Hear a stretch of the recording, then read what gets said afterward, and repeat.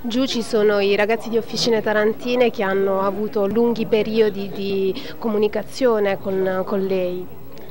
Sì, noi oggi finalmente facciamo questo ultimo passaggio importantissimo per la città di Taranto perché ci sono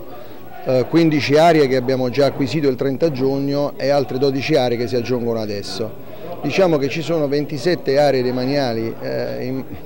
Noto che l'attenzione è concentrata solamente sui baraccamenti cattolica, però eh, a parte che dentro i baraccamenti cattolici è un'area così vasta che si presta a, a diversi usi e infatti noi abbiamo anche eh, individuato quell'area che è a disposizione della ASL per poter fare il Dipartimento di Prevenzione e anche il Dipartimento di Prevenzione per una città come Taranto dove non lo devo dire io, penso che lo sanno tutti i cittadini di Taranto, dove è molto importante la questione della salute, credo che fare degli screening, quindi un discorso di prevenzione, sia molto importante. Ci sta un'altra area che è quella della ferrovia eh, di Circumar Piccolo, che è anche un altro, eh, un altro, importante elemento che potrebbe essere di sviluppo e di rilancio per quello che è l'importanza del Mar Piccolo. Ci sono altre aree importanti, poi ci sta l'area giustamente rivendicata come noi abbiamo già stabilito che quell'area era a disposizione dell'aggregazione eh, eh, sociale soprattutto quindi riservata ai giovani, quindi è già volontà dell'amministrazione dare quell'area a disposizione dei ragazzi, di tutti coloro i quali hanno a cuore questa città, sono creativi e hanno necessità giustamente di trovare degli spazi nei quali poter esercitare la loro creatività. Quindi il dialogo c'è sempre stato perché anche il sindaco ha sempre ricevuto, non solo io, ma anche il sindaco si è fatto promotore. Ora stiamo per arrivare addirittura d'arrivo e poi da domani, da domani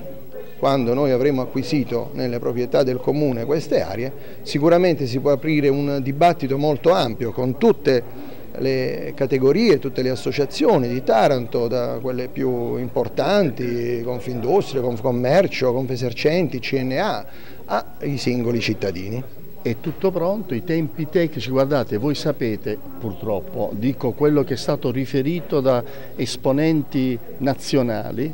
che in Italia oggi, lo dice il Presidente Renzi, che dobbiamo snellire le procedure, perché oggi dall'idea di realizzare una cosa a quando si realizza senza intoppi passano 7-8 anni se non 16 anni. Vedi il problema del porto che stiamo vivendo tutti quanti con grande ansia per quando non ci sono ricorsi, quando non ci sono ostacoli. Ci saranno naturalmente in base a quello che sarà la spesa che deve essere impegnata, come dicono le norme in base appunto alla spesa bisogna fare dei bandi. Quindi eh, dobbiamo aspettare perlomeno 90 giorni per un bando e poi dopo voglio dire andiamo. Noi ci auguriamo nel giro di poco tempo anche perché lei sa che c'è un vincolo col demanio, noi dobbiamo eh, realizzare entro i tre anni, se non realizziamo entro i tre anni voglio dire le aree ritornano al demanio. Quindi questo che è un vincolo, una legge, perché come diciamo agli altri che la legge deve essere rispettata, anche le istituzioni devono rispettare queste norme.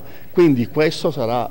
diciamo, da pungolo alle altre istituzioni per poter fare in fretta. Per quanto riguarda il Comune noi abbiamo fatto da tempo il nostro dovere.